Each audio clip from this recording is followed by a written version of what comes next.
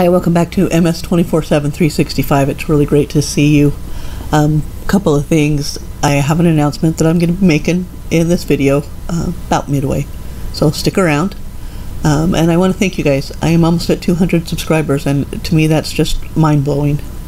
Uh, today, I would like to, you know, talk about MS relapse recognition and that kind of stuff. Um, multiple sclerosis is an unpredictable disease, and right when you think that you have it all figured out and what to expect from day to day, you get hit with a flare up. And sometimes sometimes it's called a relapse or an exacerbation or an episode or a bout. Um, but it doesn't matter what you call it, uh, you can never really be prepared for it when it does show up.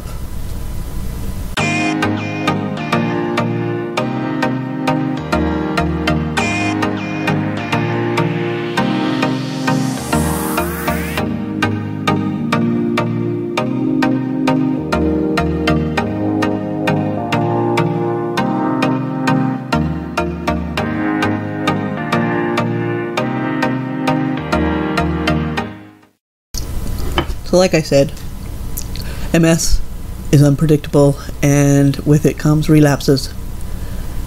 So, is there anything we can do to prepare for the inevitable uh, flare up relapse? Well, yes and no. While we know we're going to have them, uh, we don't always know exactly when. That's not always predictable. Like, I know there's a 75% chance that between Thanksgiving and New Year's, I'll probably experience some sort of a relapse. Um, it may be mild, and it might happen, you know, the day after Thanksgiving, or it might be severe and happen the day before Christmas. But with the knowledge that comes with my 26 years of, you know, MS, I've pretty much, I mean, I know I'm pretty much guaranteed that something's going to happen. Um, the stress of the holidays, the expectations, the everything. Uh, it's all prime flare up combination. Um, and as I've gotten older, I know that in order to minimize my stress, I let my extended family and family know how much or how little I feel like I can handle. Um, and for the most part, they understand that there's a good chance I will have to bow out of one or two holiday whatnots. Um, and I've done a couple of videos on how I handle the holidays. I'll put a link either um, over here or in the description. Um, okay, so you did everything you could to uh, reduce your stress. You're eating healthy, you're getting frequent rest, and yet you get that signal you get, you know, well, that's assuming you'd get some sort of a heads up just before you have relapse. I do. Um, I have secondary progressive multiple sclerosis, so my relapses don't really present the same way as with, um, you know, like relapsing remitting. I don't really need a noticeable relapse to have increased system, symptoms. Um, and until March or April of 2021, I hadn't had a new symptom for quite a while. Um, my already established symptoms will just worsen or increase in occurrence. Here lately, symptoms that I had in the early days, for a few years, have come back. Most noticeably is the phantom hair across my nose. I used to get that a lot in the first few years after my diagnosis and it was one of the signals I would get that I needed to rest and was, you know, getting tired, uh, too tired. Um, I seldom listened, but you know, okay, so what? The feeling of a hair across my nose. What made that really so particular and how I knew it was not and like actual hair? Um, in the first year or so of my after my diagnosis, I used to shave my head weekly with no guard on the clippers. And so the chances of one of my hairs, you know, randomly falling across my nose in the exact same way every time, it was slim to none. Um, you're probably thinking right now, hey, I thought this was a video about how to recognize a relapse, not your weird hair problems. and I say to you, you're not wrong. I do tend to ramble. So let's try and get me back on track. Um, all right. In the words of an MS website, a relapse or flare up is when inflammation is occurring along the nerves and the myelin, causing people with MS to have a temporary worsening or recurrence of existing symptoms and or the appearance of new symptoms. That's what they say. Now, also, relapses only occur in relapsing remitting, progressive relapsing, and occasionally with secondary progressive. If you happen to have primary progressive multiple sclerosis, relapses don't occur. You just have a fluctuation in how you feel day to day. Um, also, to be considered an actual relapse, symptoms have to last longer than 24 hours. And typically, a relapse can last anywhere from a few days to months. Um, and as if it's not unpredictable enough, we can also have what are called pseudo exacerbations. Those are what it's called when uh, the relapse is caused by some other influence and not new activity.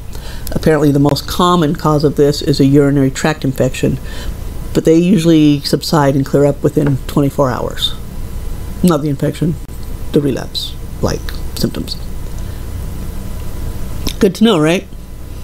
So, let's see, it's only a relapse if there's new activity. It lasts longer than 24 hours. Um, you don't have to have new symptoms for it to be considered a relapse, but you might. So, what are some other signals of a flare up? Good question. I think we should talk about it.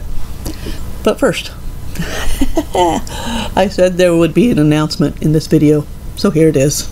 I'm going to be streaming live on my Twitch channel, um, which is Twitch TV slash Kawigma or Kawijima. It's a charity stream to support National Multiple Sclerosis Society.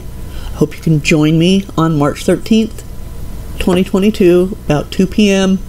Eastern Standard Time, for my Stream to End MS March Together. I will put a link in the description up here, and uh, I hope to see you. Yeah, where was I? yeah, relapse. Since MS presents in so many different ways to each patient, um, the guidelines set up for when you should call your MS care team for a relapse are really vague and they contain a lot of, for the most part, or your mileage may vary innuendos. But here's some of the criteria I found to let you know whether you should call your MS care team about a possible relapse. The newer recurring symptoms has been present for at least 24 hours. If it's been less than 24 hours, but your symptoms are severe and could affect your health or safety, you should also call. You do not have a fever or any other signs of infection, for example, urinary tract infection.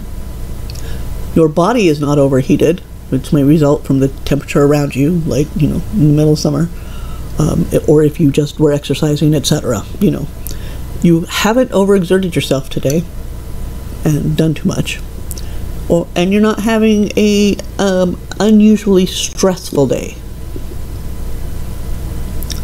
then they immediately go on to tell you that you shouldn't disregard any symptoms for any of the above mentioned reasons either. In my 26 year informed opinion you know your body and your ms better than any other person regardless of how many letters they have after their name and if you think it's a relapse, chances are it is. Um, I also ask my husband, and when they lived at home, my children, if they think I'm having a flare up because uh, they know me almost as well as I know myself. And depending on what symptoms I'm having right now, they might know me better. Um,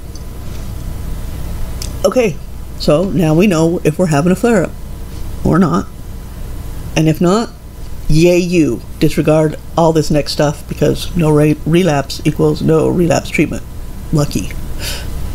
Most relapses will subside on their own over time. The length of time really depends on the severity of the flare-up.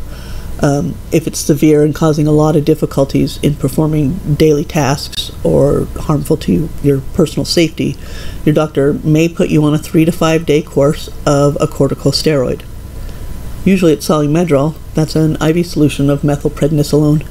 That's the most commonly prescribed treatment for a relapse. Um, but there are others.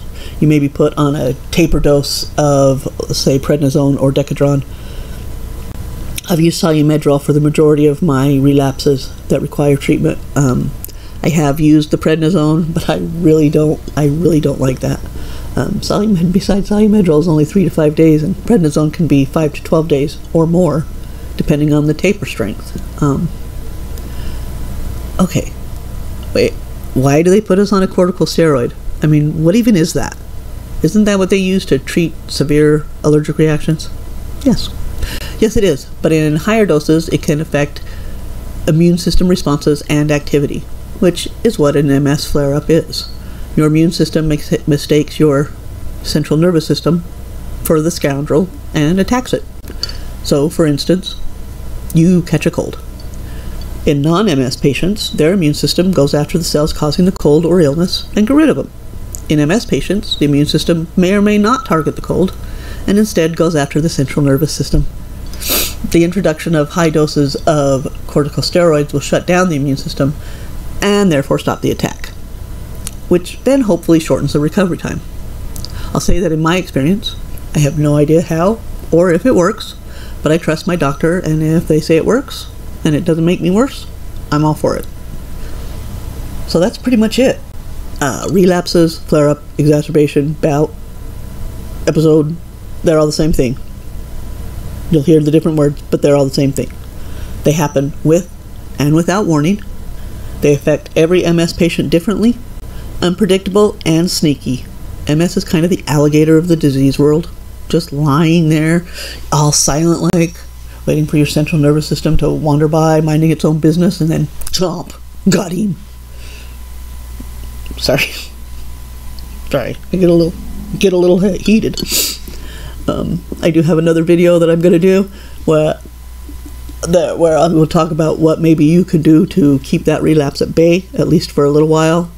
Um, but for the most part, that's it uh, for today. Uh, remember my stream on March 13th, and I hope to see you there. Uh, this has been a little different for me. I have a new setup that I'm using, and I kind of like it. Um, anyway,